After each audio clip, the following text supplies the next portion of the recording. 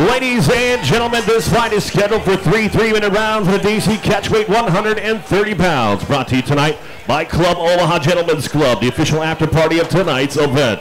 Ladies and gentlemen, introducing first, fighting out of the Twin J Blue Corner. This karate style fighter stands 5 foot 5, weighed in 127.6 pounds. Tonight, she is making her amateur debut, representing Kearney Combat Sports and fighting out of Kearney, Nebraska, by way of Burlington, Ontario, Canada, Megan Weaver. Her opponent across the cage, fighting out the Nebraska Lottery red corner, is a mixed martial artist standing 5 foot 8, weighed in 131.4 pounds. She holds an amateur record, one win, zero defeats. Representing Premier Combat Center and fighting out of Omaha, Nebraska, Hannah Mooney. Your referee is still Joe Doherty. Megan Weaver in the blue corner, uh, Hannah Mooney in the red corner. Both girls look ready. Here we go. Uh, UFC fighter Derek Minner in the uh, corner of Hannah Mooney. Megan open up with some karate style front kick as you may. and Big hands by Hannah.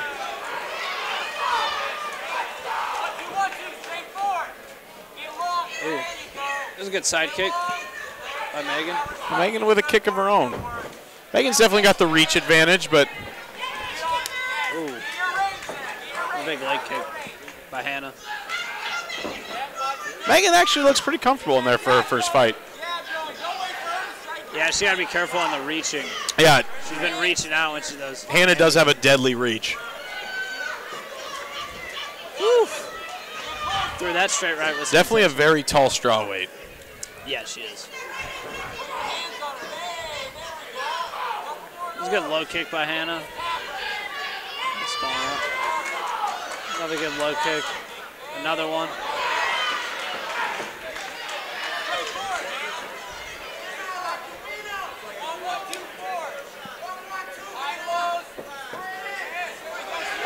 Ooh, that was a big uppercut. Yeah, that was a big hit. There's another left hook. Megan's got to be careful here. Yeah, Megan's got to. She looks like she was going for a takedown, but it's definitely wrong. Megan's Another cut a little right bit. Hand, another big right hand. It's two back to back. Yeah, Megan's got to get off that cage, or she's got to tie up. She's got to pick one. Woo! Hannah's just landing those punches. Yeah. This is gonna get stopped. This, yeah, she's got to defend herself intelligently, but see what she can do with this leg. This is the first time she kind of got the leg on the on the shot or trying to close the distance. Let's see what she can do with it. Hannah's doing a good job of sprawling out right now, though. Wouldn't be surprised if Megan just falls to her back, pulls her into half guard. Ooh, big elbow by Hannah. They, they almost look a weight class uh, apart i- Yeah. when they're tied up like this. It's easy for Megan to get lower on the hips of Hannah. Han- Hannah's taking some deep breaths here, though. If if, if if Megan can recover, I mean, this isn't. I don't think this is a bad thing to do when she was put in the position she was in, No, it's not. I mean, this is about her only answer that would have affected for her. sure.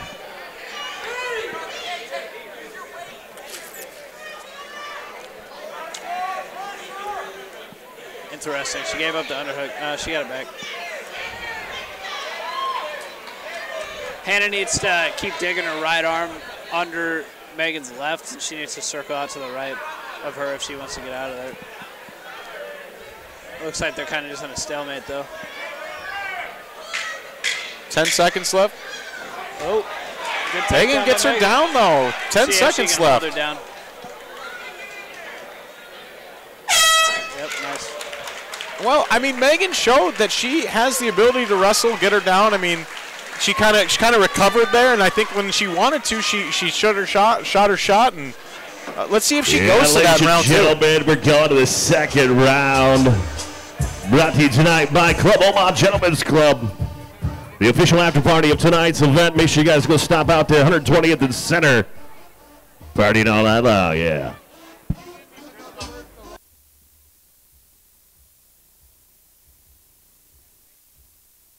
Megan needs to get inside and probably force a takedown because I don't know if she can strike inside for long and be uh, keep composure. But yeah, the whole range thing, which is what karate's great for, is really hard when your opponent's way taller than you. It, it is very hard to, to uh, plan for that, especially the, to have to deal with that in your debut fight. So I agree. I'd like to see her close the distance and see go to that wrestling again. That that might be her best chance. But uh, good first round for Hannah. Yeah, it was a great first round.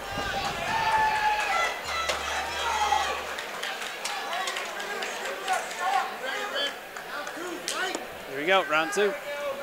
Megan in the uh, blue corner and uh, Hannah in the red corner with the red gloves. Oh, that was a big right hand by Hannah.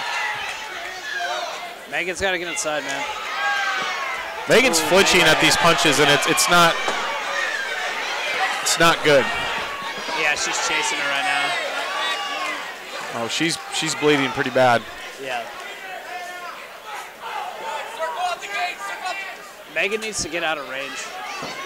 She needs to be back and then come in when she feels like she's gonna go for a takedown. High low, there you go. God, Hannah's doing some damage on her, man. That was a good blitz by Megan, but she's got to keep going. She's getting teed Yeah, she's showing she's showing moments of, of toughness and blitzing, but when she gets on the cage here, she's in a bad spot. She's got to circle off the cage, man. This might be it. I think the ref's warning her that she needs to defend herself, otherwise this could be stopped very soon. Yeah, she's got to get off there. Yep. Yeah. I think I think the ref warned her and, and uh, tell the, to defend herself, and when she didn't uh, answer back after five or six uh, Five or six unanswered. shots. unanswered, answer, unanswered shots, yes. Uh,